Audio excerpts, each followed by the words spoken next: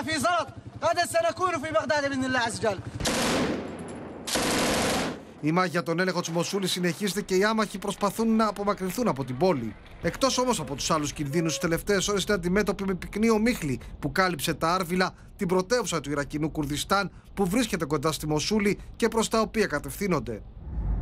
Οι τζιχαντιστέ έχουν βάλει φωτιά στι πετρελαιοπηγέ τη πόλη από τον περασμένο Αύγουστο, αλλά ο πυκλό καπνό συνεχίζει να απλώνεται πάνω από την περιοχή.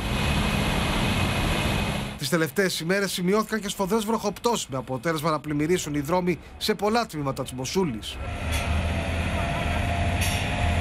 Άθλιε είναι όμω και οι συνθήκε που αντιμετωπίζουν οι άμαχοι τη Ιρακινή πόλη που εγκατέλειψαν τα σπίτια του για να γλιτώσουν. Σχηματίζουν ουρέ για λίγα τρόφιμα και νερό γύρω από τα φορτηγά τη ανθρωπιστική βοήθεια. أنا مستعد أعيش بهذا البرد وأموت من البرد أنا وأطفالي 100 سنة على أن أبقى يوم تحت حكم ظل داعش Ναι, ναι. Μόλις χθες, με έκθεσή της, η Europol προειδοποίησε για τον κίνδυνο νέων επιθέσεων στην Ευρώπη από μέλη του ISIS που επιστρέφουν από τα πολεμικά μέτωπα της Συρίας και του Ιράκ, όπου χάνουν έδαφος.